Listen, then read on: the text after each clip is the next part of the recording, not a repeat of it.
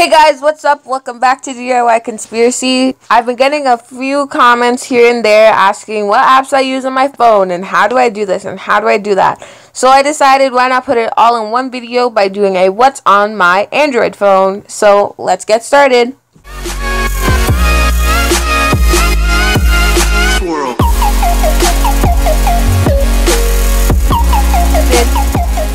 So currently I'm using a launcher, so this can almost be like a launcher review as well. The launcher I'm using is called Do Dodol Launcher. It's totally free on the Google Play Store, and it has a bunch of themes that you can explore and enjoy if you are totally in love with customizing your phone.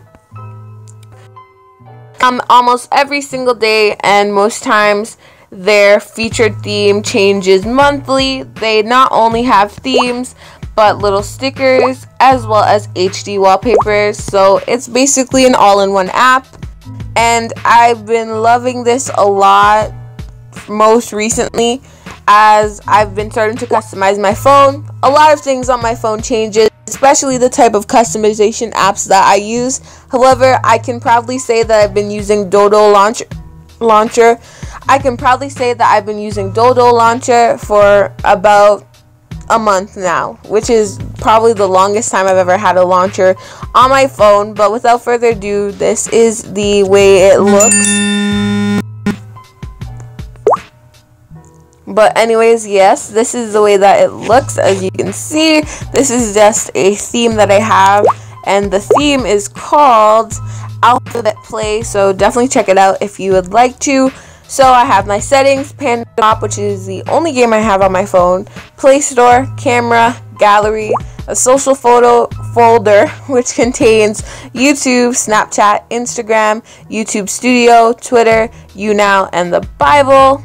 And you can add apps automatically by going through here if you want to. So let's say you're going through and you're just like, hey, I forgot this app, but I don't necessarily want to drag and drop. You can just go through and tap on an app, press OK, and it will be added to the folder. Next, I have a torch toggle, S planner, contacts, calculator, and at the top here, I have this widget where I can control my settings. So I have Wi-Fi network, sound, auto rotation, things like that and another flashlight shortcut because everyone needs a flashlight shortcut as well as a screen timeout timer which I think is really really useful.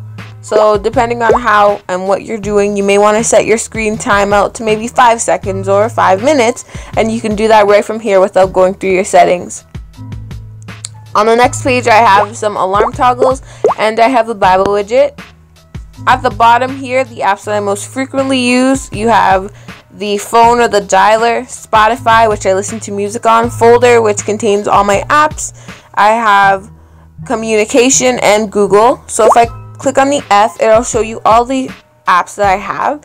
So here I have Maps, Messaging, MobiZen, Music, My Files, Optical Reader, Phone, Photos, Playbook, Play Movies, Play Newsstand, Play Store, Polaris Office, Rewards, S Health, S Memo, S Planner, S Translate, S Voice, Samsung Hub, Settings, Snapchat, Video, Voice Recorder, Voice Search, YouTube, Studio, Instagram, PandaPop, Twitter, YouNow, Spotify, Bible, Calculator, Camera, Chrome, Clock, Contacts, Downloads, Drive, Dropbox, My Email, Galaxy Apps, Gallery, Gmail, Google, Google Settings, Group Play, Hangout, Help, Internet, and Kids Mode.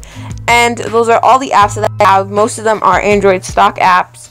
However, I do have some other apps. If you're wondering and you forgot already, I am using the Do Dole launcher, which you can find on the Play Store for absolutely free. It has countless numbers of themes and it's not gender specific. There are many good themes you can get, not only for boys, not only for girls, but also for boys.